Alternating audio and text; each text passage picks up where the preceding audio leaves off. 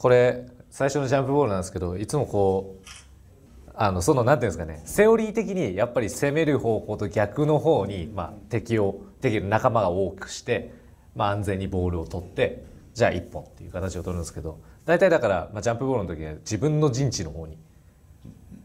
敵がおあ仲間が多い方にポンってやるんですよね。僕いつも1日目にわざとここにいるんですよ。いつもここで本当はこっちにやりたいのにっていうところで2日目わざとこっちに行くんですよ。そしたらなんかこういつも迷うんですよこいつがずっと見て。ビッグマンが見るの。っていうなんか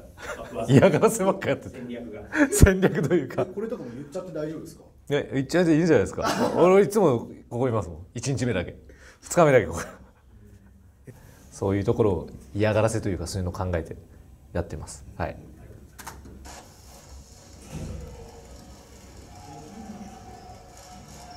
これ多分ポストアレックスのポストアタックを狙う。あなんですね。ですね。ここ本当は。入らなかったので、まあ、展開して全部オールスイッチしてるので、まあ、圧も考えてここでミスマッチになったので。でそうなるとやっぱビッグマンが1人なんで、まあ、ここでピックアンドロールしてそしたらもうスイッチ全部オールスイッチなんですよ。ここ西宮のディフェンスが。なんでも圧もあミスマッチだと気づいて福ちゃんにリフトさせて、まあ、兄さんのポストアップした時にはやっぱりここがステイになるんですよね。ビッグマンが1人なんで。だからそこにわざと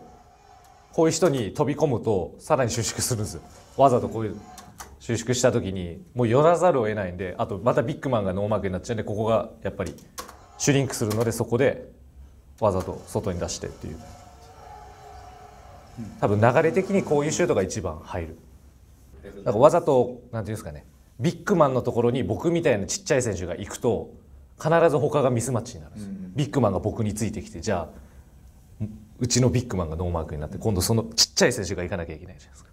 っていうのをわざとこうゾーンの時とかでもなんていうんですかね。わざとビッグマンをビッグマンの近くにいてドリブルし始めたらビッグマンが出てくるじゃないですか。そしたら今度ミスマッチになるんですよ。だからそういうのをいつも考えてわざとミスマッチにさせるようにやってます。はい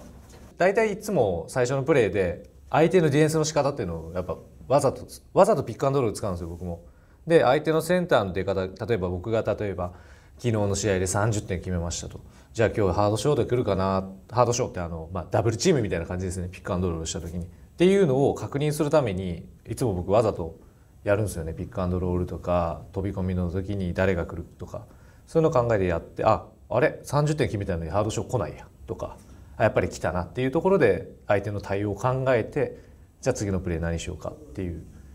感じの組み立て方にその後のプレーがなっていくので、まあ、そういった意味ではなんか相手がスイッチしてたのでっていう感じで、はい、